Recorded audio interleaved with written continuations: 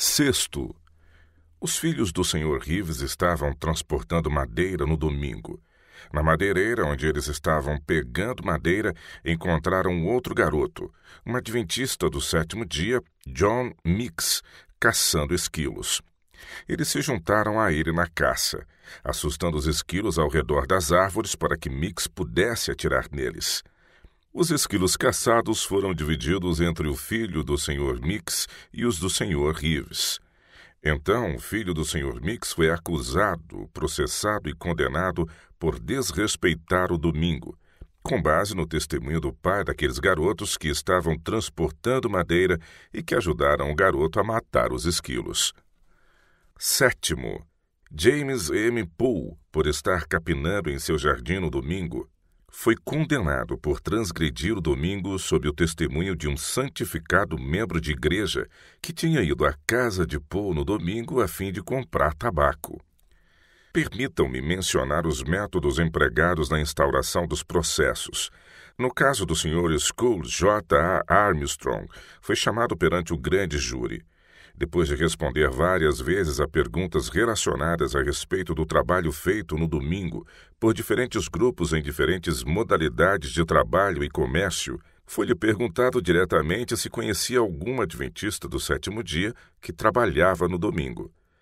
Ao responder afirmativamente à pergunta, segundo a natureza do trabalho mencionado, todos os adventistas do sétimo dia que ele mencionou foram indiciados, mas ninguém de qualquer outra classe ou comércio. No segundo caso, de James A. Armstrong, ele foi preso a pedido do prefeito. Quando foi solicitado a declarar o motivo da prisão de Armstrong, o prefeito disse que A. J. Fogan tinha chamado sua atenção para o trabalho de Armstrong e lhe havia dito: agora cumpra o seu dever. Apesar de Vaughan testificar sob juramento que de forma alguma havia visto Armstrong no dia mencionado. Armstrong não apenas foi preso por ordem do prefeito, mas também julgado diante do prefeito que atuava como juiz de paz. E quando Vaughan testemunhou que não tinha visto Armstrong em nenhum momento do dia referido, isso fez com que o prefeito fosse, para todos os efeitos, tanto a testemunha de acusação quanto o juiz, e as perguntas feitas mostraram precisamente sua posição e visão pessoal sobre o caso. A pergunta que ele fez às duas primeiras testemunhas foi: O que vocês sabem sobre o trabalho do Sr. Armstrong feito no domingo, no dia 27 de junho? Essa pergunta já continha em si a premissa do que se esperava ser provado no julgamento.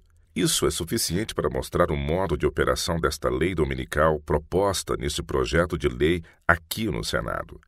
Há muitos outros casos, todos na mesma direção.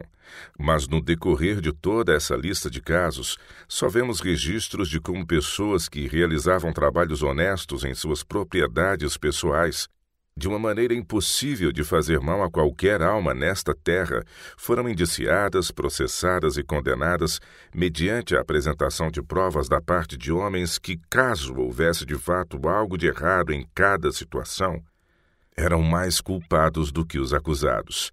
Se a perseguição religiosa puder ser mais claramente demonstrada do que tem sido nesses casos, esperamos jamais ver tal demonstração. Pode-se perguntar por que não foi feita nenhuma apelação. De fato, uma apelação foi dirigida à Suprema Corte do Estado no primeiro caso julgado.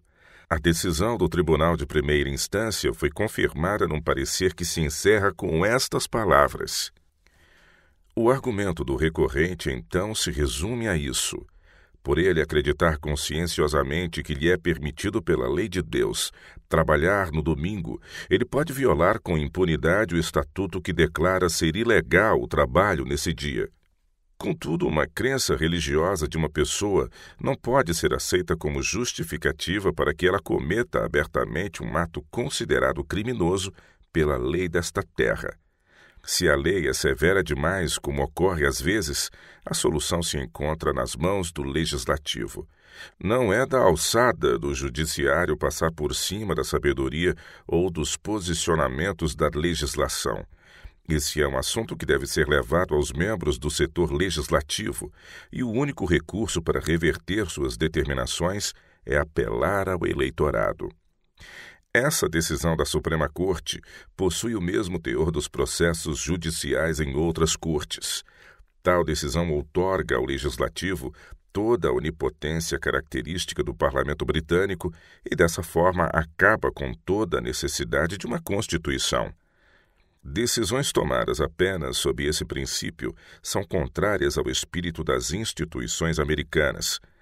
Nenhum corpo legislativo neste país se estrutura segundo o modelo do parlamento britânico no que diz respeito ao poder. Neste país, os poderes de cada corpo legislativo são definidos e limitados por constituições. É prerrogativa das Supremas Cortes definir o significado da Constituição e decidir se um ato do legislativo é constitucional ou não. Se a lei for constitucional, então ela deve permanecer, não importam quais forem os resultados e a Suprema Corte é o órgão pelo qual a constitucionalidade ou a inconstitucionalidade de qualquer lei deve ser revelada. Mas se, como essa decisão declara, o legislativo for onipotente e o que ele fizer deve prevalecer como lei, então não há nenhuma razão para a existência de uma Constituição. Um dos motivos por que o judiciário é estabelecido é o da proteção aos direitos constitucionais dos cidadãos. Enquanto existir uma Constituição acima do Legislativo, que define e limita seus poderes e protege e assegura os direitos dos cidadãos, será prerrogativa da Suprema Corte se pronunciar sobre os decretos do Legislativo. A Suprema Corte do Arkansas, portanto, claramente abdicou de uma das funções essenciais pelas quais ela foi criada, ou, na pior das hipóteses, subverteu a própria Constituição do Arkansas. Seja qual for o caso, ela outorgou ao legislativo a onipotência do parlamento britânico, uma atitude contrária a cada princípio das instituições americanas. Infelizmente, o estado do Arkansas não é uma exceção nesse caso, pois este é o procedimento habitual das Supremas Cortes ao sustentarem leis dominicais. Essas leis não podem ser sustentadas sobre nenhum princípio americano. A cada caso surge a necessidade de recorrer. Isso tem ocorrido com quase nenhuma exceção ou aos princípios da relação entre Igreja e Estado do governo britânico ou ao princípio britânico da onipotência do poder legislativo. Contudo, os princípios americanos estão muito acima e são muito mais avançados do que os princípios do governo britânico, pois admitem limitações constitucionais ao poder legislativo e não aprovam nenhum tipo de união entre Igreja e Estado. Consequentemente, leis dominicais nunca foram e nunca poderão ser sancionadas pelos princípios americanos. Que essa censura à Suprema Corte do Arkansas não é injusta, temos as mais claras provas. Os três juízes que na época compunham a Suprema Corte eram todos membros da Associação de Advogados do Estado do Arkansas. Em menos de três meses após essa decisão ser proferida, essa associação de advogados unanimemente produziu um relatório para o Estado sobre a Lei Reforma Legal, do qual tenho em minhas mãos uma cópia oficial. Nesse documento, sob o título Leis Dominicais, encontra-se o seguinte: nosso estatuto, tal como está no Mansfield's Digest, provê que as pessoas membros de qualquer sociedade religiosa que observa como dia de descanso qualquer outro dia da semana que não seja o sábado cristão, ou seja, o domingo, não estarão sujeitos às penalidades desta lei, a lei dominical, de modo que eles possam observar um dia em sete, consoante sua fé e a prática de sua igreja ou sociedade. Mansfield's Digest, seção 1886. Esta lei já estava em vigor desde o momento da organização do governo do Estado, mas infelizmente foi revogada pelo decreto de 3 de março de 1885. Decretos 1885, página 37. Embora os judeus se apeguem evidentemente à letra do mandamento original, que ordena a observância do sétimo dia da semana, há também no Estado um pequeno, porém respeitável corpo de cristãos que firmemente creem que o sétimo dia é o verdadeiro dia a ser guardado e santificado. No caso de Scholes versus Estado, nossa Suprema Corte foi obrigada a confirmar um julgamento contra um membro de uma dessas igrejas por adorar a Deus de acordo com os ditames de sua própria consciência, apoiado segundo sua convicção em bons argumentos teológicos. É muito claro que o sistema atualmente em vigor, com forte sabor, como tem sido mostrado, de perseguição religiosa, é uma relíquia da Idade Média, quando se pensava que um homem podia se tornar ortodoxo mediante um decreto do parlamento. Mesmo em Massachusetts, onde as leis que obrigam repouso semanal sempre foram aplicadas com vigor incomum, tem-se feito exceções em favor de pessoas que observam religiosamente qualquer outro dia em lugar do domingo. Cremos que a lei, como constava no Mansfield's Digest, deveria ser restaurada com uma emenda que impedisse a venda de bebidas alcoólicas no domingo, já que esse provavelmente foi o objetivo da revogação da seção acima. Agora, a Constituição de Arkansas afirma: Todos os homens têm o direito natural e inalienável de adorar a Deus Todo-Poderoso segundo os ditames de sua própria consciência Nenhum homem pode legitimamente ser obrigado a comparecer, construir ou apoiar qualquer lugar de adoração ou manter qualquer ministério contra o seu consentimento. Nenhuma autoridade humana pode, seja qual for o caso ou maneira, controlar ou interferir no direito de consciência, e nenhuma preferência jamais será dada por lei a qualquer instituição religiosa, denominação ou maneira de adoração acima de outras. Esse relatório da Associação de Advogados diz: no caso de Scholes versus Estado, nossa Suprema Corte foi obrigada a ratificar um julgamento contra um membro de uma dessas igrejas por adorar a Deus segundo os ditames de sua própria consciência. Os membros da Suprema Corte, também membros da Associação de Advogados, por meio desse relatório, confessam que eles confirmaram um julgamento contra um homem por fazer o que a Constituição explicitamente declara ser um direito natural e inalienável de todo cidadão. Senador Blair. Então, se eles tinham uma lei como essa, eles foram injustamente condenados por ela, assim como homens inocentes às vezes são enforcados. Mas você não pode argumentar que não deva haver nenhuma lei contra o assassinato pelo fato de homens inocentes serem às vezes executados. Trata-se de uma falha na administração da lei. Você não pode raciocinar com base nisso que não deveria haver nenhuma lei. Senhor Jones, se tivessem ocorrido os aprisionamentos de outras pessoas por trabalhar no domingo, em número semelhante ao aprisionamento de observadores do sétimo dia, e a lei tivesse sido aplicada igualmente a todos, então a iniquidade não teria sido tão evidente, ou se aqueles que não eram guardadores do sétimo dia e que foram presos também tivessem sido condenados, o caso ainda assim não teria sido tão claramente um exemplo de perseguição. Mas quando em todos os registros dos dois anos de existência da lei nessa forma, não houve o aprisionamento de um único dono de bar, nem de qualquer pessoa não guardadora do sétimo dia, com as duas exceções mencionadas, então não poderia haver uma demonstração mais clara de que a lei foi usada apenas como um meio para tornar público o ódio religioso contra uma classe de cidadãos inocentes de qualquer crime, salvo de professar uma religião diferente da maioria. A verdade é essa, e toda a história desses processos legais comprova esse fato, que do começo ao fim, esses processos foram apenas a manifestação de um espírito intolerante e perseguidor que sempre se fará sentir quando alguma classe de religiosos puder controlar o poder civil. As informações sobre as quais se fundamentaram as acusações foram dadas traiçoeiramente no próprio espírito da Inquisição.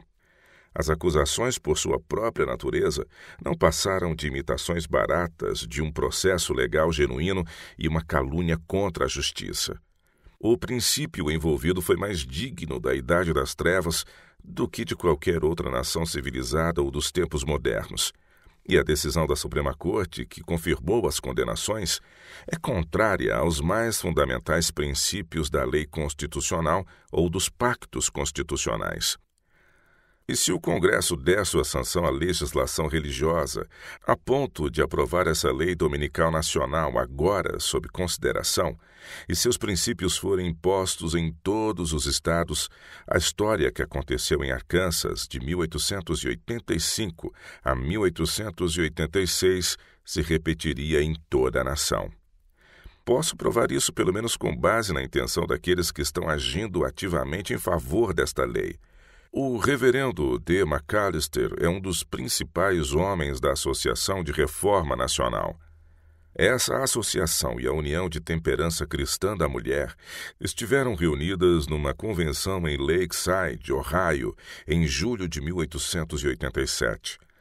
Falando sobre o assunto da Lei Dominical Nacional, o Dr. McAllister disse: não importa a filiação religiosa de uma pessoa, judeu observador do sétimo dia de alguma outra denominação, ou os que não acreditam no sábado cristão, o domingo, que a lei seja aplicada a todos e que não haja nenhuma profanação pública do primeiro dia da semana, o sábado cristão, o dia de descanso da nação.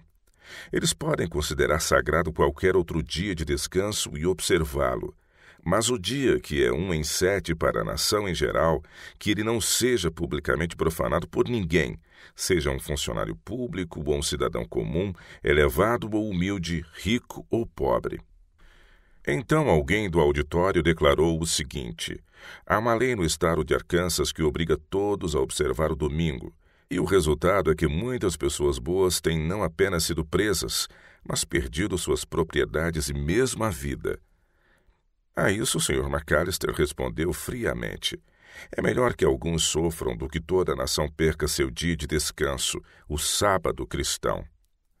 Esse argumento é idêntico àquele pelo qual os fariseus no tempo de Cristo se justificaram por assassinarem a Jesus. Eles disseram: Nem considerais que vos convém que morra um só homem pelo povo e que não venha perecer toda a nação. João capítulo 11, verso 50. E então diz o registro sagrado: desde aquele dia resolveram matá-lo. João 11, 53. É por causa desses princípios descaradamente confessados pelos próprios homens que estão na liderança dos esforços para garantir a promulgação desta lei dominical em âmbito nacional, e por causa do efeito prático dessa lei em Arkansas e no Tennessee, e até certo ponto na Pensilvânia, Sim, é por causa dessas coisas que dizemos aos senhores cavalheiros do Senado dos Estados Unidos: vocês não podem se permitir conceder a esses homens o poder que procuram na promulgação da presente proposta de lei dominical. O discurso do senador Crockett Kelly foi proferido na Assembleia Legislativa do Arkansas, quando ele estava pedindo a restauração da cláusula de isenção, quando ele, de fato, estava pedindo por tolerância. Senador Blair, você sabe se esse jovem tinha dinheiro ou amigos?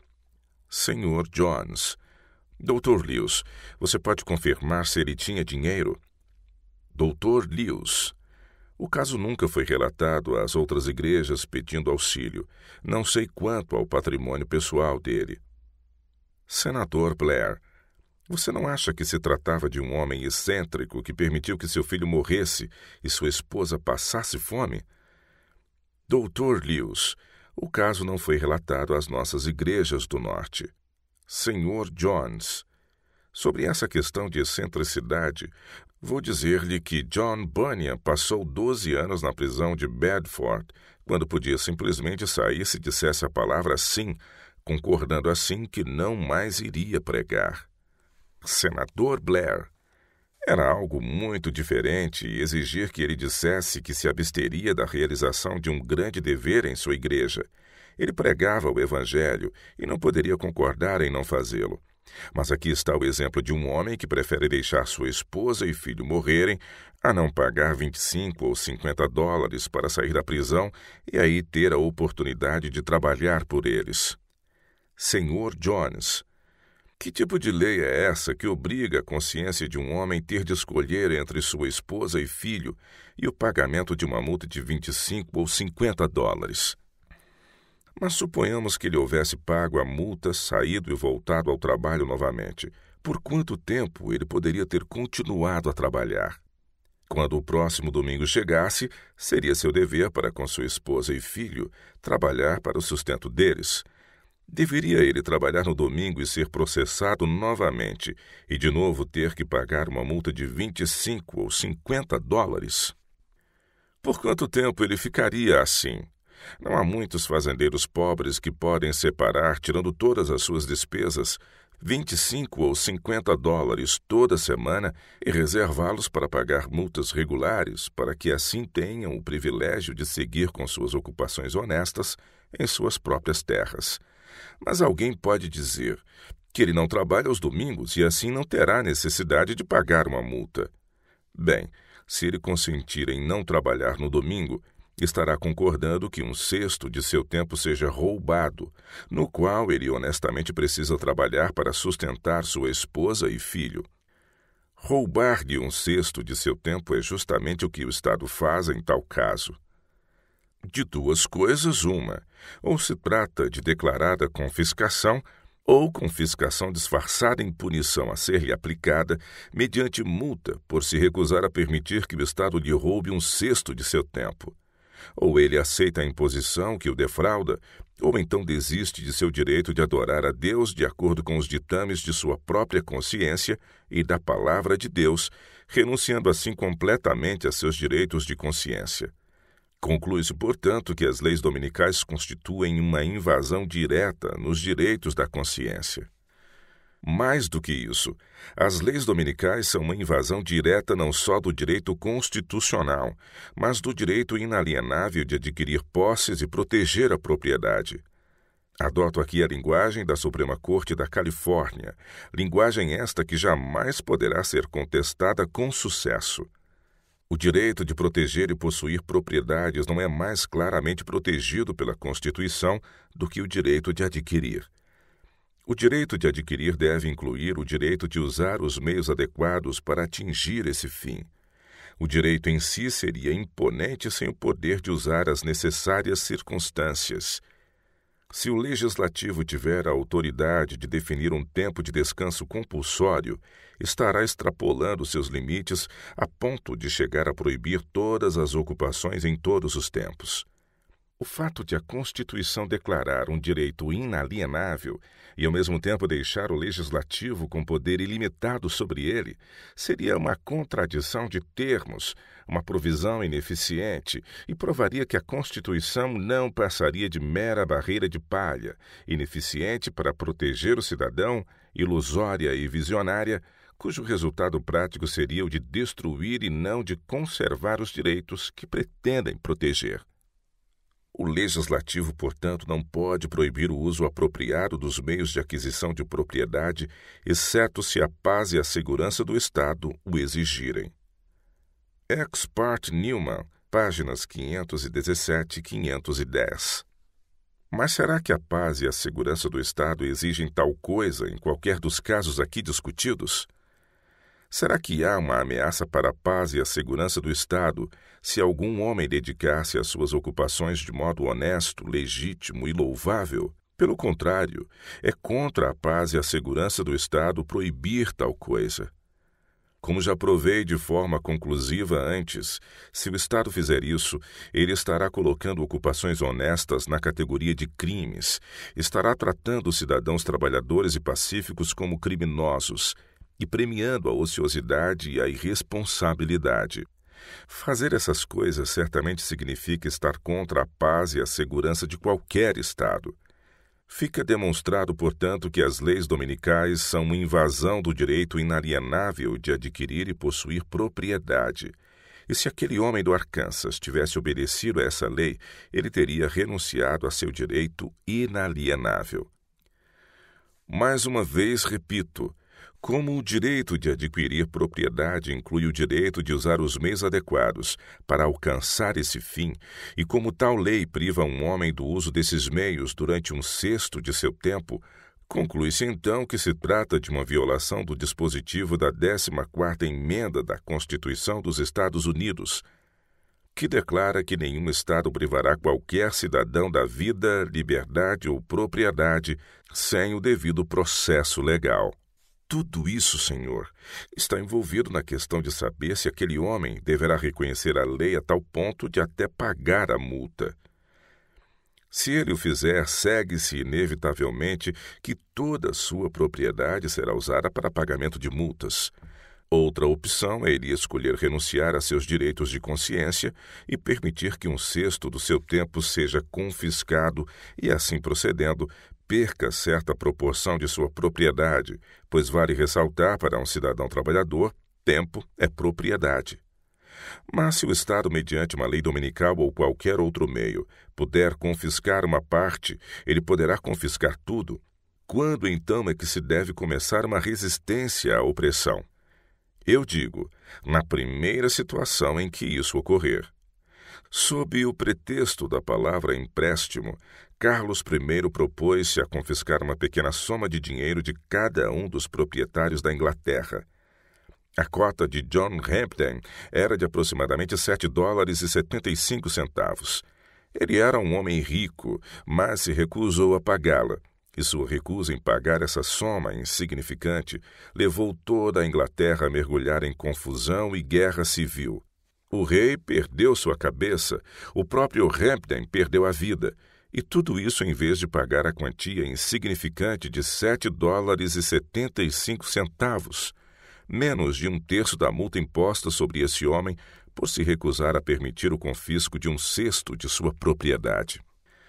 Mas a recusa de John Hampden de pagar aquela quantia propiciou o estabelecimento do princípio constitucional de que cada homem tem o direito inalienável de adquirir, possuir e proteger sua propriedade, um direito que, nesse caso, havia sido invadido.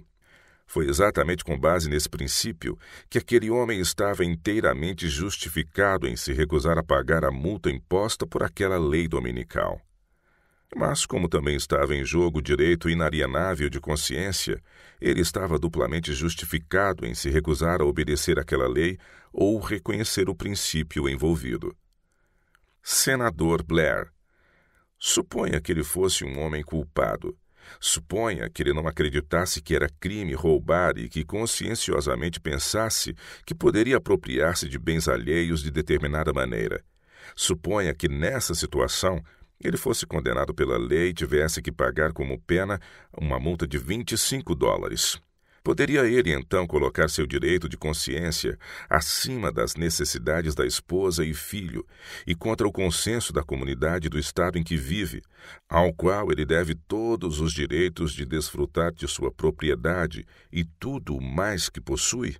Nesse caso, esse homem preferiu ver todo esse mal acontecer a pagar 25 ou 50 dólares e ele diz ter feito isso por causa da sua consciência. Senhor Jones, os casos não são em nada paralelos, a menos que o senhor de fato considere a execução de uma ocupação honesta de um homem um ato tão criminoso quanto o fato de ele roubar.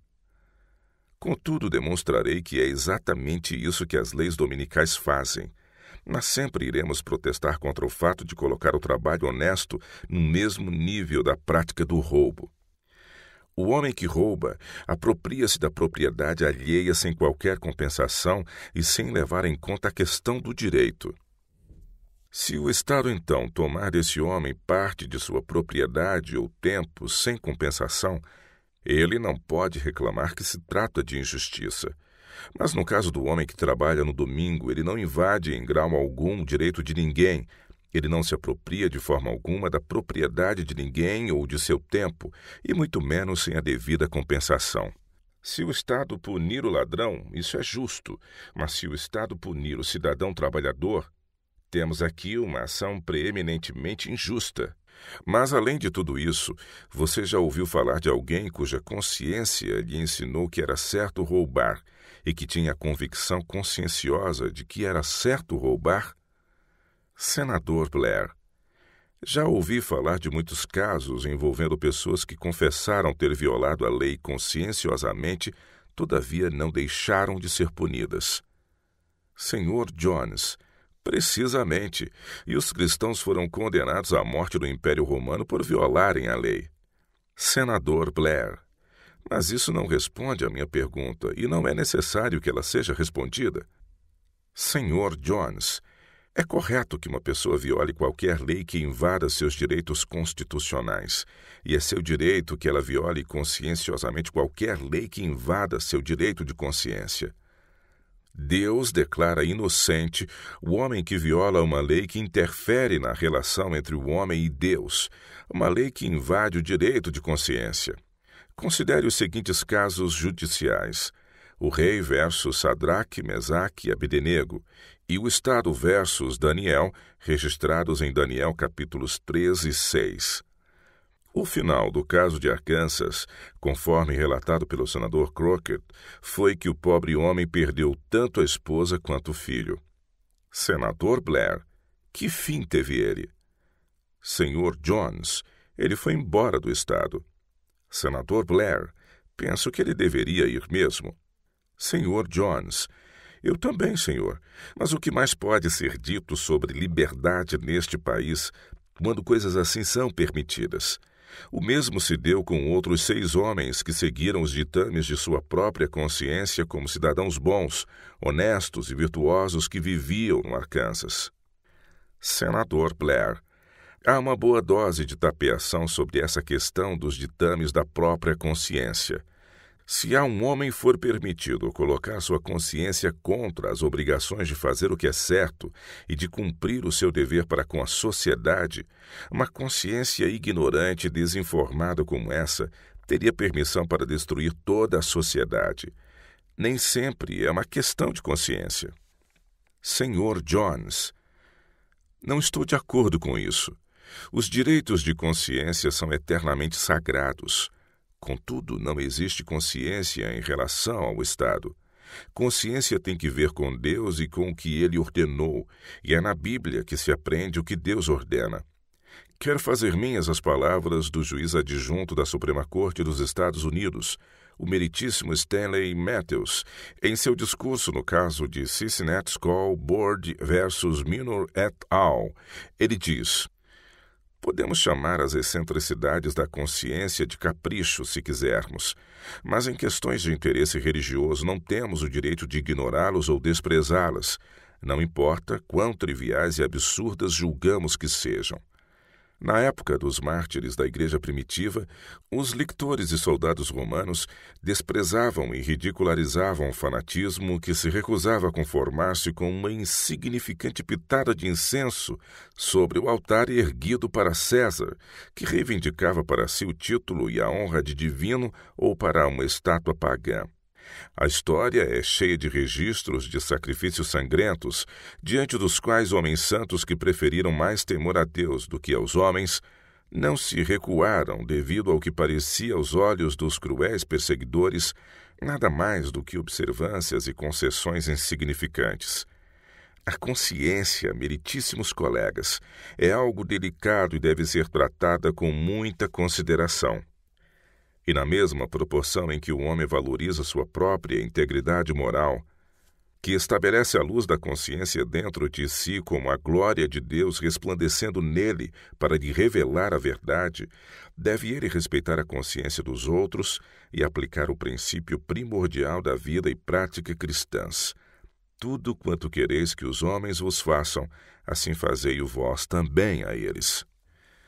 Senador Blair, deveriam aqueles que conscienciosamente acreditam no amor livre ter a liberdade de praticá-lo? Senhor Jones, isso não faz sentido. Onde está a convicção conscienciosa no amor livre? Não sou capaz de encontrá-la. Não resta espaço para ela. Senador Blair, mas deve haver leis que proíbam a imoralidade? Senhor Jones, Peço que o senhor defina o que é imoralidade e então responderei à sua pergunta. Senador Blair, se você não sabe o que a expressão significa, não me darei ao trabalho de esclarecê-la para você. Nota: os lictores eram funcionários públicos encarregados de estar diante de um magistrado com feixes de varas denominados faces, abrindo espaço para que esse pudesse passar. Senhor Jones, eu sei o que ela significa. Senador Blair, então por que me pede para defini-la? Por que não responde à pergunta? Senhor Jones, porque há significados alterados da palavra que a fazem referir-se a um crime. A imoralidade é, em si mesma, uma violação da lei de Deus e o governo civil não tem nenhum direito de punir qualquer homem pela violação da lei de Deus propriamente dita. Digo, portanto, que aquilo que, estritamente falando, é imoralidade, a lei civil não pode proibir e não tem nenhum direito de tentar fazê-lo. A moralidade é definida da seguinte forma: moralidade a relação de conformidade ou não conformidade para com o verdadeiro padrão moral ou regra. A conformidade de um ato com a lei divina. Como moralidade é a conformidade de um ato com a lei divina, fica claro que a moralidade pertence unicamente a Deus, e no que diz respeito a isso, o governo civil não tem nada que ver. Novamente, a lei moral é definida como a vontade de Deus como supremo governador moral referente ao caráter e conduta de todos os seres responsáveis, a regra de ação como obrigatória na consciência ou natureza moral. A lei moral encontra-se resumidamente no Decálogo escrito pelo dedo de Deus em duas tábuas de pedra e entregue a Moisés no Monte Sinai. Essas definições, evidentemente, estão de acordo com as Escrituras. As Escrituras mostram que os Dez Mandamentos são a lei de Deus, que eles expressam a vontade de Deus, que pertencem à consciência e têm jurisdição sobre os pensamentos e intenções do coração. E que a obediência a esses mandamentos é o dever que todo homem tem para com Deus. Dizem as Escrituras: teme a Deus e guarda os seus mandamentos, porque isto é o dever de todo homem. Eclesiastes 12, verso 13. E o Salvador diz: Ouvistes o que foi dito aos antigos: Não matarás, e quem matar estará sujeito a julgamento. Eu, porém, vos digo que todo aquele que sem motivo se irá contra seu irmão estará sujeito a julgamento, e quem proferir um insulto a seu irmão estará sujeito a julgamento do tribunal. E quem lhe chamar tolo estará sujeito ao inferno de fogo. Mateus 5, versos 21 e 22. O apóstolo João, referindo-se ao mesmo assunto, diz: Todo aquele que odeia seu irmão é assassino. 1 João 3, verso 15. Novamente o Salvador diz: Ouvistes o que foi dito: Não adulterarás. Eu, porém, vos digo: qualquer que olhar para uma mulher com intenção impura no coração, já adulterou com ela. Mateus 5, versos 27 e 28. Outras ilustrações poderiam ser acrescentadas, mas essas são suficientes para mostrar que a obediência à lei moral é moralidade, que ela envolve pensamentos e intenções do coração e, portanto, dada sua natureza interior, está fora do alcance ou do controle do poder civil. Odiar é assassinato, cobiçar é idolatria, pensar numa mulher de forma impura é adultério. Tudo isso é igualmente imoral e constitui violações da lei moral, mas nenhum governo civil procura punir essas atitudes do coração. O homem pode odiar seu vizinho por toda a vida. Ele pode cobiçar tudo que existe na terra. Pode ter pensamentos impuros com relação a cada mulher que olhar. Ele pode fazer isso a vida inteira, mas enquanto essas coisas estiverem confinadas a seus pensamentos, o poder civil não pode tocá-lo. Seria difícil conceber uma pessoa mais imoral do que um homem desses. No entanto, o Estado não pode puni-lo, tampouco tenta puni-lo. Isso demonstra mais uma vez que o Estado não tem nada que ver com aquilo que diz respeito à moralidade ou imoralidade. Mas vamos levar esse assunto mais adiante. Caso o ódio desse homem, quer por palavra ou gesto, o leve a procurar causar dano a seu próximo, o Estado mais do que depressa irá puni-lo. Se a cobiça desse homem o levar a pôr as mãos no que não lhe pertence, numa tentativa de roubo, o Estado não pensará duas vezes para puni-lo. Se seus pensamentos impuros o levarem a tentar qualquer tipo de violência contra uma mulher, o Estado irá puni-lo. No entanto, tenha-se em mente que, mesmo nesses casos, o Estado não pune tal homem por sua imoralidade, mas sim por sua incivilidade. A imoralidade reside no coração e pode ser mensurada apenas por Deus. O Estado não pune ninguém pelo fato de a pessoa ser imoral. Caso o fizesse, teria de punir como assassino o homem que odeia a outro e punir como idólatra o homem que cobiça e como adúltero aquele que tem pensamentos impuros. Digo isso porque, de acordo com o verdadeiro padrão de moralidade, o ódio é assassinato, a cobiça é idolatria e a impureza de pensamento é adultério. Portanto, fica claro que, de fato, o Estado não pune ninguém por ser imoral, mas sim por ser incivil. Ele não pode punir a imoralidade, mas sim a incivilidade. Essa distinção é estampada no próprio termo usado para designar o Estado ou o governo nacional. Ele é chamado de governo civil. Nenhuma pessoa, senão um teocrata, pensa em chamá-lo de governo moral. O governo de Deus é o único governo moral. Deus é o único governador moral. A lei de Deus é a única lei moral. Somente a Deus pertence o direito de punir a imoralidade, que é a transgressão da lei moral. Os governos humanos são governos civis, não morais. As leis dos estados e nações representam leis civis e não morais. Às autoridades do governo civil pertence o direito de punir a incivilidade, ou seja, a transgressão da lei civil. Não lhes cabe punir a imoralidade.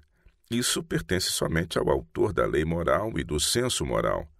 Ele é o único juiz das relações morais dos homens. Tudo isso precisa ficar claro na mente de todo aquele que dispensar ao assunto a justa atenção. Essas reflexões se confirmam pela definição da palavra civil, que é a seguinte: civil pertence a uma cidade ou estado, ou a um cidadão em suas relações com seus concidadãos ou com o Estado. Assim fica claro que devemos a César, que representa o governo civil, somente o que é civil, e que devemos a Deus o que é moral ou religioso, e não a nenhum homem. A nenhuma assembleia ou organização humana pertence qualquer direito de punir a imoralidade. Quem quer que tentar fazer isso estará usurpando a prerrogativa de Deus. A Inquisição é a lógica inevitável de qualquer reivindicação por parte de assembleias humanas de poder punir a imoralidade, pois, a fim de punir a imoralidade, é preciso de alguma forma sondar os pensamentos e intenções do coração. O papado, afirmando ter o direito de obrigar os homens a ser morais e de puni-los por causa de imoralidade, tinha a cruel coragem de levar este maléfico princípio à sua consequência lógica. Com o intento de colocar esse princípio em prática, verificou-se ser essencial ter acesso aos segredos do coração dos homens, Verificou-se também que o diligente emprego de tortura iria extrair dos homens, em muitos casos, uma confissão completa dos desígnios mais secretos do coração. Por conseguinte, a Inquisição foi estabelecida como o meio mais bem adaptado para garantir o fim desejado. Enquanto os homens concordarem com o conceito de que está dentro da alçada do governo civil impor a moralidade, não haverá muito benefício em condenar a Inquisição, pois aquele tribunal é o único resultado lógico de tal conceito. Assim, creio ter discorrido mais do que o suficiente sobre a relação da moralidade para com o Estado no verdadeiro e genuíno sentido da palavra moralidade. Mas, como disse no início, há um sentido adaptado para a palavra moralidade, no qual o termo é usado apenas para se referir à relação dos homens para com seus semelhantes.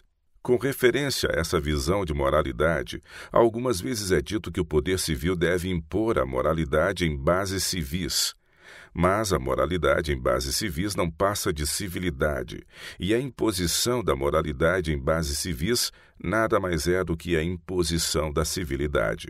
Sem a Inquisição, é impossível que o governo civil possa estender sua jurisdição além das coisas civis, ou impor alguma coisa além da civilidade.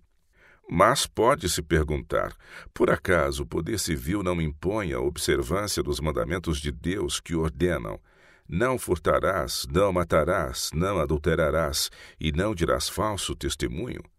Porventura ele não pune a violação desses mandamentos de Deus? Eu respondo: o poder civil não impõe a observância desses mandamentos, tampouco pune a violação deles como mandamentos de Deus. O Estado, de fato, proíbe o assassinato, o roubo e o perjúrio, e alguns estados proíbem o adultério, mas não como mandamentos de Deus. Desde os mais remotos tempos, governos que nada conheciam a respeito de Deus têm proibido essas coisas. Se cabe ao Estado a imposição dessas coisas como mandamentos de Deus, ele terá de ter conhecimento dos pensamentos e das intenções do coração, o que extrapola a jurisdição de qualquer poder terreno. Por meio de todas essas evidências, fica estabelecido o claro princípio fundamentado no bom senso de que ao governo civil pertence apenas aquilo que o próprio termo sugere, o que é civil. O objetivo do governo civil é civil e não moral. Sua função é manter a ordem na sociedade e fazer com que todos os seus habitantes descansem em segurança, protegendo-os contra toda incivilidade. A moralidade deve ser rendida a Deus, a civilidade ao Estado. A imoralidade precisa ser punida e pode ser punida apenas por Deus. A incivilidade precisa ser punida pelo Estado. E ele não é capaz de punir nada além disso.